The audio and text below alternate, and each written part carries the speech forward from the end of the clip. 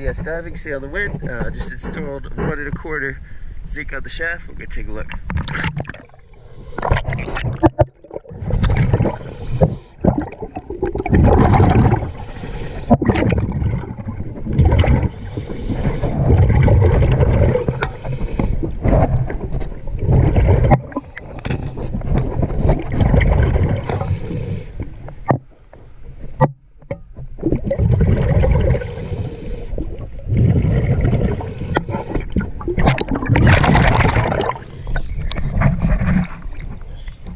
Thank you very much.